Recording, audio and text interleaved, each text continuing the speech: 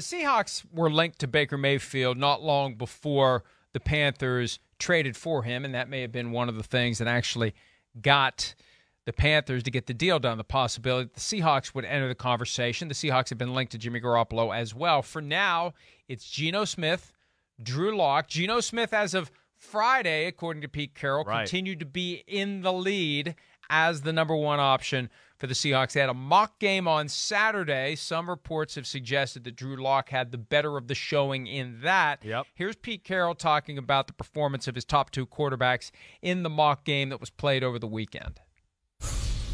What'd you think of Drew Lock and Geno?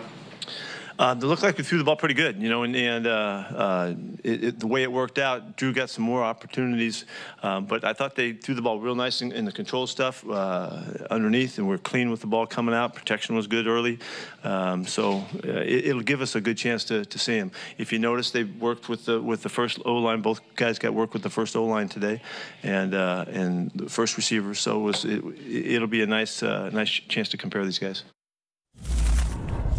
You know, he, he is not going to let on one way or the other what he's thinking about doing. He'd like to keep the Broncos in the dark as long as possible. There are the basic numbers for Lock and Smith from the mock game 19 for 26 for Lock, 11 for 20 for Smith. The offense just did more with Lock, according to Greg Bell of the Tacoma News Tribune. And, and the door's been open for Lock to jump Smith. It's been open. And both guys saying great things about how they're going to support each other. Lock went through this last year with Teddy Bridgewater, competed right up until the end, and lost it. Smith hasn't been in the mix to be a starter for years. So I, I still don't know who it's going to be.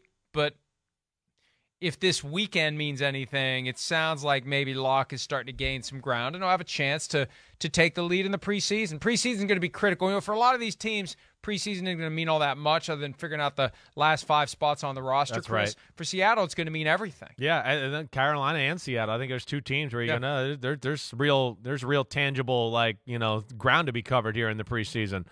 Uh, a- little bit like the situation we talked about where you know Drew Lock at least has been there a little longer, but I would think you were getting towards a time here, you know that he's probably getting closer to Geno Smith. I know last week Pete Carroll even brought that up that you know hey Drew at the line of scrimmage is not quite on top of things right like Geno Smith is yet. And that's that's to be you know that that's natural. That's normal.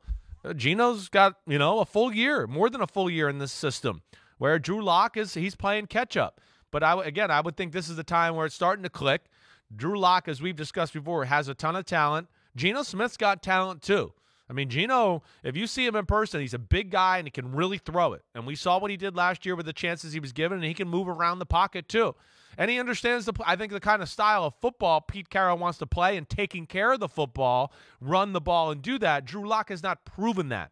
And then when Pete makes comments like Drew got more opportunities, I think he's subtle, subtle, subtle. Excuse me. Subtle. Subtle. Subtly. Subtly. Subtly. Damn B is silent. Uh, that he's subtly he's subtly letting you know that he got more opportunities. He was he was letting you know that for a reason, in my opinion. You know, because maybe there were some things that you know didn't go in Geno's favor or whatever else. You know, hey, maybe a guy ran a wrong route. Maybe you know their their offense was working on something a little different when he's getting there. That's what stinks sometimes about that. You know, there's a few things that happen during a scrimmage like that all the time where it just ah man, that quarterback he got to come in towards the end of the scrimmage. They lost its intensity a little bit. You know, my offensive coordinator figured out at the end of the scrimmage kind of how the defense was playing us through the day. He started to call some better plays and all that. So you don't know. But again, I think it's very equal, and I do think this is one that's going to play out right in front of us on the football field. Do you think they're biding their time to snatch Garoppolo once he's released by the 49ers? And once he's released, he's free and clear, Yeah. immediate free agent, can sign with any team. Do you think that they're planning to do that? I, I I don't get that feeling. I can't say that I've heard anybody like in football that I know like really go down that conversation yet. I know it's been out there. Um, but but yeah, I don't I don't know if I buy that. And I mean, you know, I also think of like Seattle. Seattle's had Jimmy Garoppolo's number and Shanahan's number for that stand, standpoint. They might look at it and go, eh. And and the other thing too, Mike, where we we discussed this a lot, like Jimmy will get there and be the third most physically talented guy on the team. He's not he's not more talented than Drew Lock or Geno Smith. Geno Smith and Drew Lock are going to be bigger human beings that are faster, and they're going to be able to make more aggressive, explosive plays down the field. That's where I get into this conversation a lot. I'm not sure what I know what Jimmy G really is. He's had a lot of silver platter completions and plays delivered to him. He's good, I get it, but I don't know if he's really any. You know, he, he to me is he. I don't think he is anything better than top 18 in football. I don't really look at him that way. And I, I, think that could be another issue there, too. You get Jimmy Garoppolo, they bring him in, they go, wait, the, what? He's not even on the same level throwing the post route as Geno or Drew Lock. Whoa, here's a 25 yard comeback. Geno and Drew Lock are throwing lasers and the ball spinning hard. Jimmy Garoppolo, I mean, they can't even get him to throw the ball out there in San Francisco and do that. So that's where I would think it could be a little dicey too, Mike. Maybe I'm crazy to think that, but but that's that's at least my opinion on that one.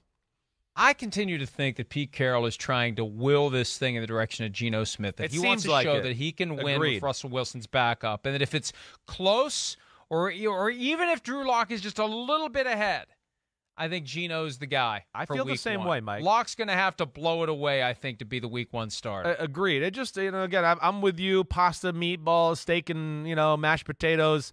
I, I the, just the way Pete talks, and again even that comment I brought up there, it does make me believe he's leaning Geno as of right now. And and I would think that the carelessness of Drew Lock with the football has to scare him a little bit too. I do. I mean, again, that's what we've talked about the last two years when Drew's got his chance is just can you trust him?